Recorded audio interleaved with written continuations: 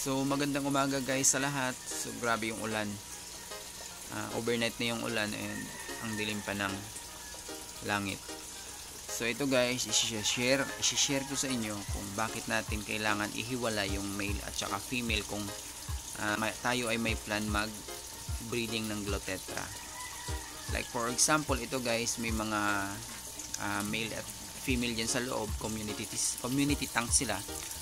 Ayan, kung makikita natin ngayon, aligaga, ayun o, mm, nagbe-breeding. Yan o, yun. Tsaka yun pa, ayan pa sa ilalim. At tsaka yun pa, oh. Yan. Yan, lahat yan sila guys, oh. Aligaga sila. And nagbe-breeding sila lahat. Yan, yan yung pangit pag plan natin mag-breeding, din hindi natin iniwala yung ah, babae at saka lalaki kasi mag inbreeding sila sa loob lalo na pag ah, bagong palit yung tubig natin. So kahapon is nag change water ako dito half 50% so bago sa ah, bago sa pakiramdam nila yung tubig. And yung feeding pa natin dito is 3 times a week ako nagla live food. So intact yung tiyan ng babae dito. And yung lalaki is condition yung condition naman yung katawan.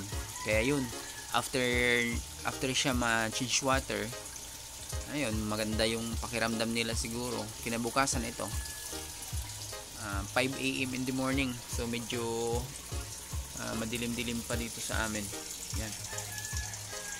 Dilim pa. Yun. So kaya kung may plan tayo mag-breed ng Glotetra is maganda kahit ah, maliit lang na tank bigyan natin ng ah, separate tank yung ating mga breeders. Kasi yan sayang yung mga egg oh.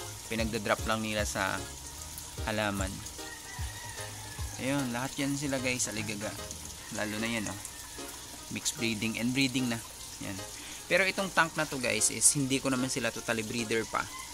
Ah, ito yung mga glotetra na 4 months pa lang. So actually nagbe-breed na yan sila pero hindi rin natin yan hindi rin natin yan mapakikinabangan. Kasi ang mangyayari is mababaog lang naman yan lahat ng egg. So kaya naka community tank muna sila. Pero after nito ah, going to 6 months na sila or kahit ito magsisilik na ako ng female and then ililipat ko sa kabilang tank para doon na sila makapag ah, buo ng egg and intact yung katawan nila pagdating ng maturity. So So, yun lang guys, share ko lang kung bakit natin kailangan talaga ihiwalay kung may plan tayo mag-breed. Pero ang ganda nila tingnan guys, oh, tingnan nyo. Ayan, lahat sila parang masaya. Yun. Nagdadalaga at nag nagdadalaga na yung mga glotetra. Ayan. Halos lahat sila oh. Yun. Lahat yan guys nagda-drop ng egg yung 4 months kasi guys na edad ng tetra pag ah, i-breed natin sila is mababaog lang kasi hindi pa sila matured. Kaya antayin talaga natin sila maging ah, matured na. Halo-halo yan dito guys. May long fin at hindi. At saka lahat ng kulay yan dito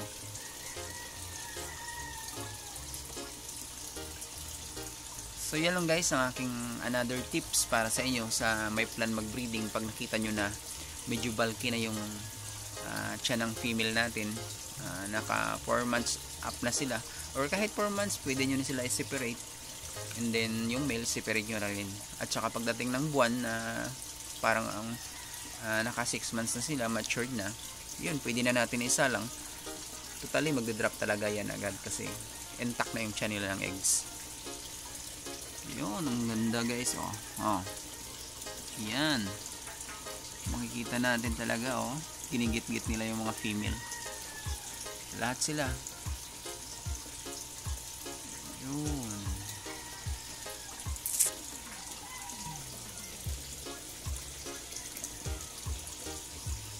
So, yun lang guys. And good luck sa atin. Good luck sa breeding nyo.